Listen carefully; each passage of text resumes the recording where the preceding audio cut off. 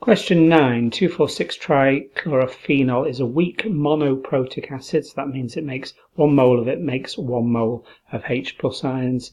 Uh, Kw is given at 298K. 298K um, is normal room temperature, but I think that's a red herring, that won't matter.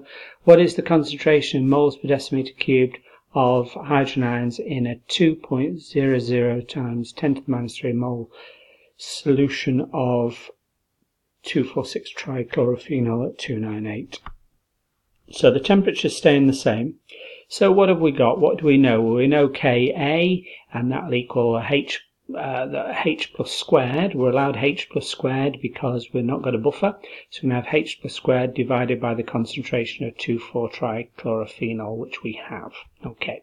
So we've got the Ka equals H plus squared divided by the concentration of 2,4,6-trichlorophenol.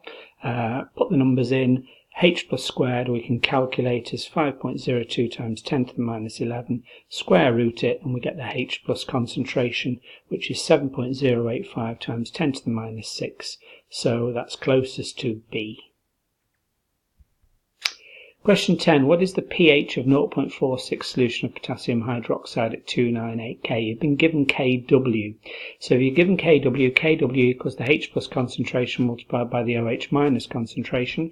So you've got Kw, you've got the OH minus concentration. So um, 1 times 10 to the minus 14 Kw equals H plus multiplied by OH minus concentration.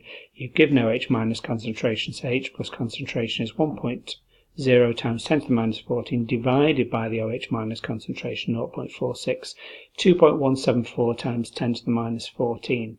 pH is minus log to the base 10 of that 13.66, which seems reasonable for uh, the pH of potassium hydroxide, which is a strong base. Answer B.